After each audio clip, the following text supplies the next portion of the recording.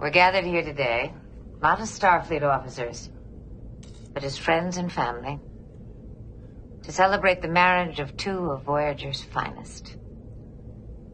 B'Elanna has asked me to forego the rigors of Klingon pain sticks in favor of a more traditional ceremony. They're saving the pain sticks for the honeymoon. Bravo